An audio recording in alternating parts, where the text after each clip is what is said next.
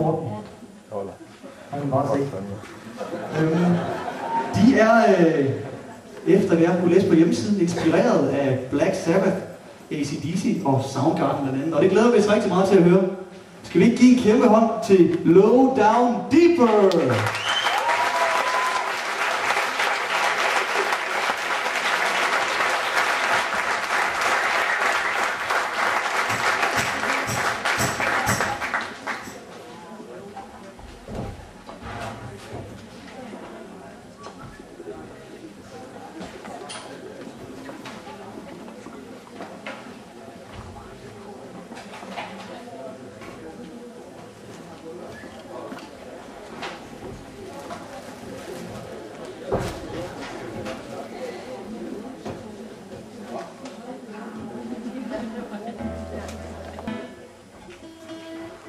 Jo, øh, det bliver lidt anderledes i aften, fordi øh, da vi skulle øve her i eftermiddag, så kunne vi ikke øve nogen steder, fordi der var en masse andre mennesker. Det er bare, nogle gange så kan det være rart, og andre gange kan det være skidt, og det er jo altid skidt.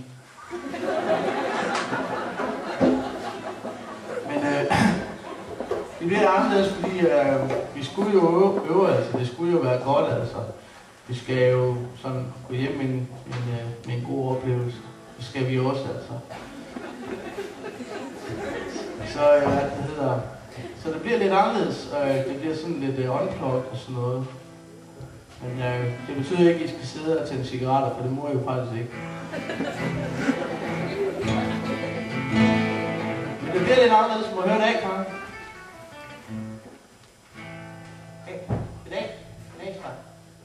Vil bare høre, vi stemmer? Det vidste godt nok. Så skal du også have mikrofonen sammen. Jo. Jeg god nok, vi skal synge i aften også. Og Henrik, nu skal, nu skal du også på plads. Øh, jo. Nej, men altså, jeg var, jeg var lige ude og, og få lidt vand og drikke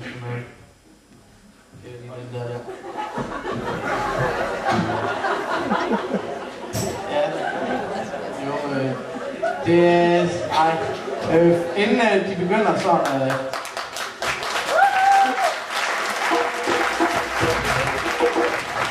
går godt. Synger bare, okay. Øh, jo, det skal ikke være nogen hemmeligheder. Jeg fylder 25, øh, altså det er til så kubikmeter, men øh, alligevel, det er rart at være her. Det skal være rystet, ikke? I kan, I kan høre, I kan høre os og sådan noget. Det er godt. Det, jo. Altså, tre af os, os der sidder her og spiller streng, vi går på seminaret, og, og Rasmus' far gør også.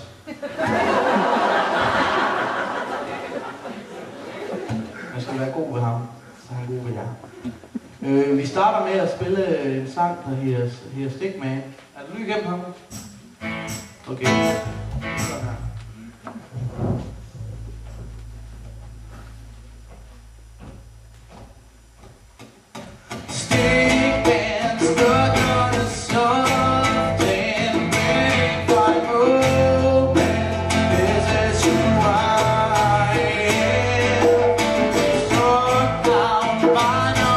sun.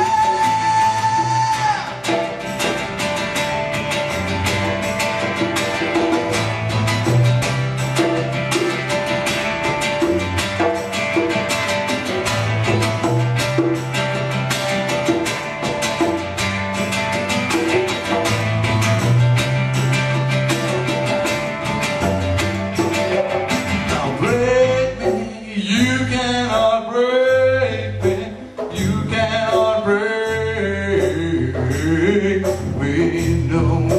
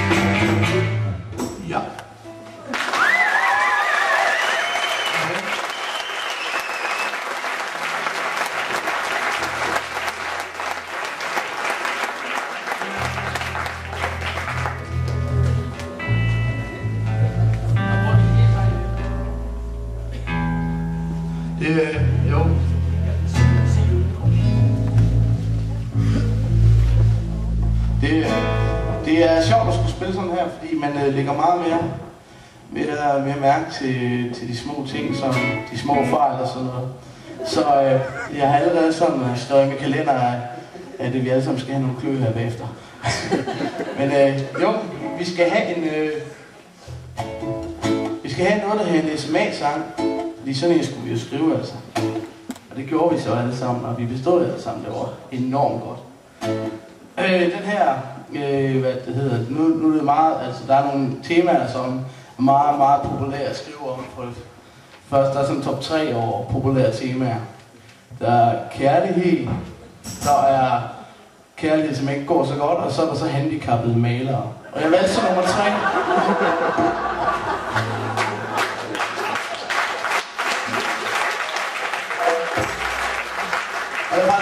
den her sang, den øh, handler om ham, der hedder Dan Keblinger, en fyr, som, øh, altså, jeg tror godt, jeg kan tillade mig i det her forum og sige, at han har mere nosser, end, end øh, jeg nogensinde har mødt nogen. Jeg har så ikke engang mødt ham. Hold kæft, mand. Øh, det er en fed film, øh, dokumentarfilm, der hedder King M, og det gør sangen også. Og jeg synes, I skal se den og få tårer i øjnene, ligesom jeg gjorde. Det var en fed film. Der kommer en sang, der hedder King Gimp til Dan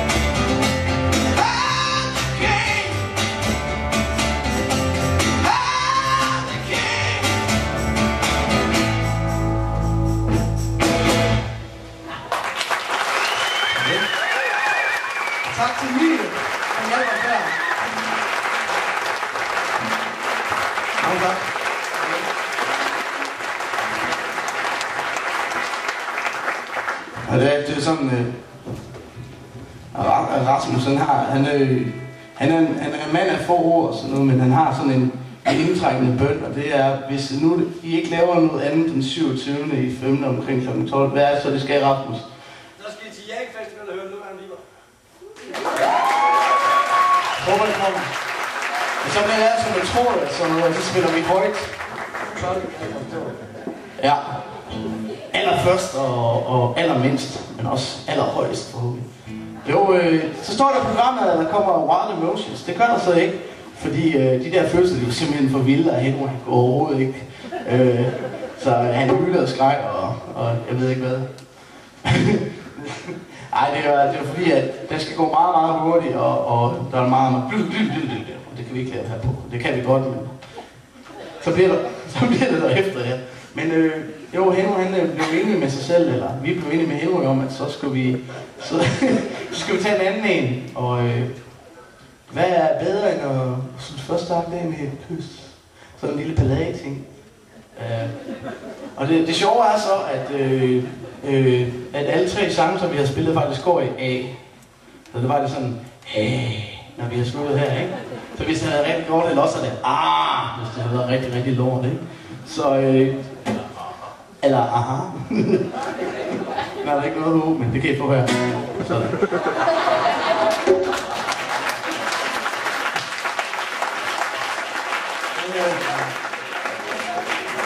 Der kommer en sang, der, der handler om at give alt for meget og få alt for lidt.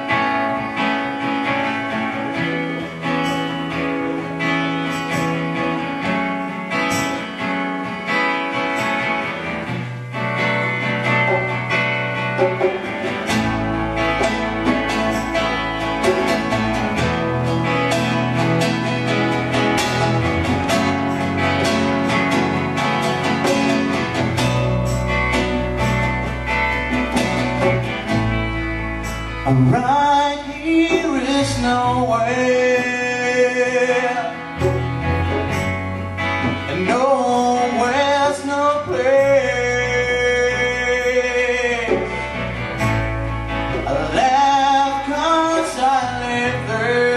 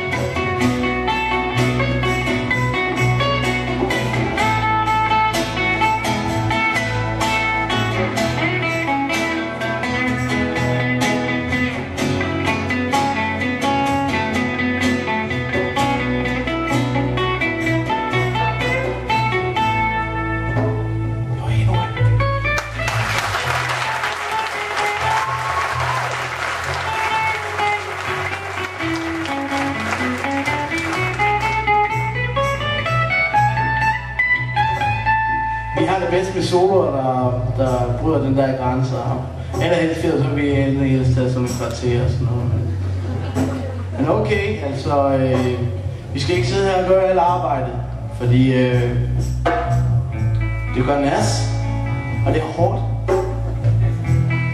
Så øh, jeg vil gerne have, at I hjælper os lidt med at synge.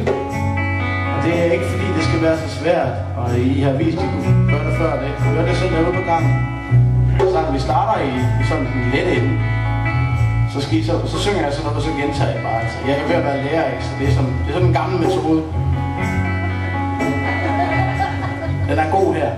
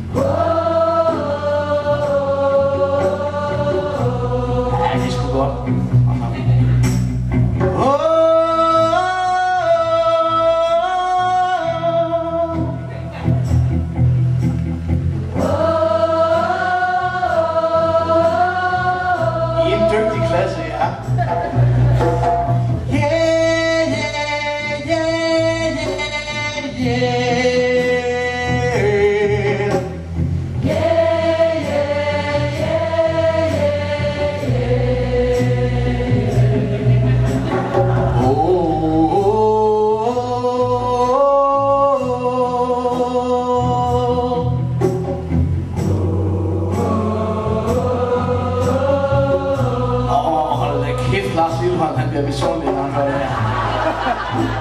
Men øh, I skal sgu have tak. Jeg synes lige, at... Øh,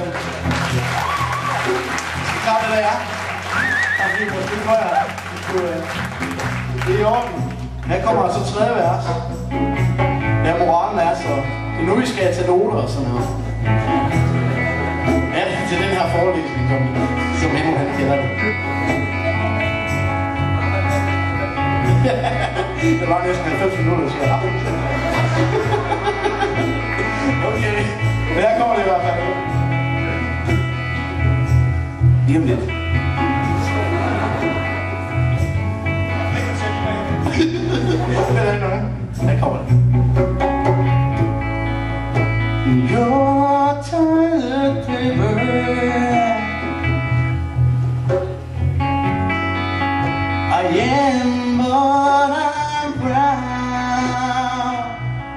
So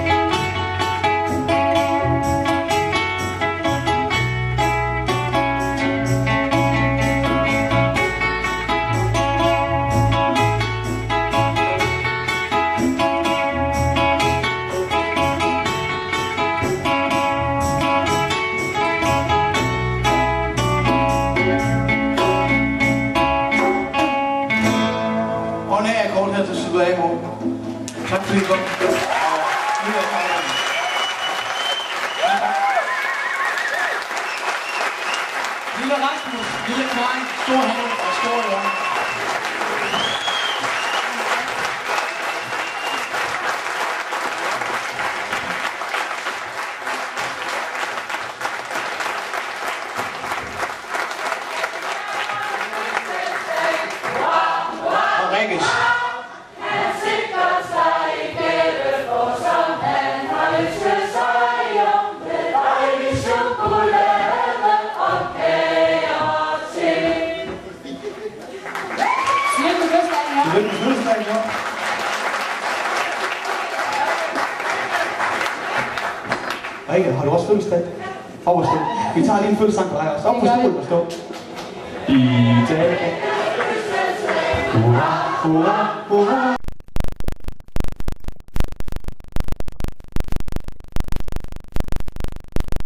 Sammen. Vi har ikke rigtig fået hils på hinanden i aften. Så vi er nødt til at, når jeg tæller til tre, og lige på nu, jeg siger 1, 2, 3 nu, så vender vi os alle sammen om og hilser fremsiden bagved. Klar? 1, 2, 3, nu! Vend jer om og hils på øh, personen, der sidder bagved. Ej, ej, det var Anders Birkov, det var ren Anders Birkov. Det er, han er klam.